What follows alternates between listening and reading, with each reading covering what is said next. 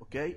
Allora ora diciamo, cambiamo completamente. Eh, una delle iniziative scientifiche della SISSA è astrofisica, cosmologia e quindi stiamo, stiamo partendo proprio completamente diverso. Come già, già detto precedentemente, eh, anche la, la scienza di base non deve essere assolutamente trascurata, anche perché dobbiamo chiederci chi siamo, dove andiamo e così via. Quindi abbiamo anche l'aspetto anche, eh, filosofico che la cosmologia ha.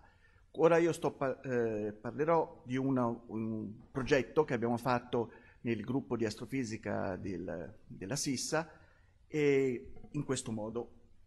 Allora, l'idea è che la cosmologia eh, la è un aspetto fondamentale della nostra conoscenza.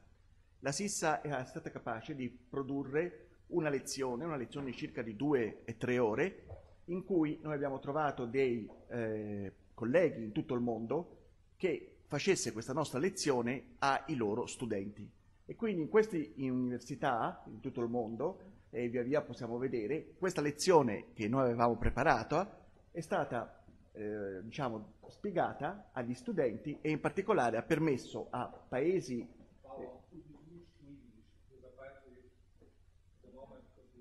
ah, ok, ok, ok, so, so, no so, uh, we This is a, is a lecture that we prepared in, uh, of, for any student, and we have uh, about 140 colleagues that in different places over the world, they have uh, given this lecture.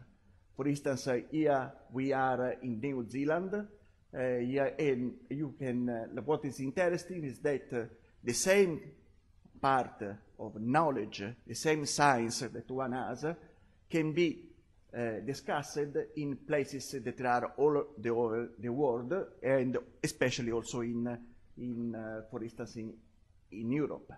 So this is, is, quite interesting because at the end, something uh, in the same week, uh, 5,000 people so are students, they have, they, they have admitted at this lecture they know something that we have prepared in SISSA. Because in cosmology, we are um, I mean, at, at advanced, very, very advanced studies. It's interesting, even in Iran, in places, it's very quite interesting to see that we had I mean, people in different places that for which we don't know. They are very far away places. For instance, we are talking about uh, is in Mexico, and so on. It is quite interesting in the sense that people that have culture completely different, at the end, they use exactly the same slice, they discuss about uh, the same thing. Then in this case is the universe and the mystery of the dark matter.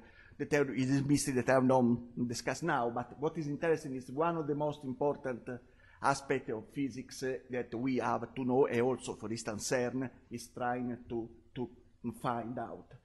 So, and uh, it is interesting because, again, uh, we had 150 colleagues of us that they had to study the, what really we prepared for them. So they, the students, uh, okay, they have just to, to follow the lectures, but the, our colleagues, they really have to study to invest some part of their time in preparing this lecture and uh, even maybe making lecture even uh, making the lecture even better. So these are our friends that they have participated uh, to this idea, and uh, I think uh, that, that so then this is the, our friends in SISSA that have helped in preparing. These are people that over the world they are helped in, in the scientific uh, part. So this is that's all.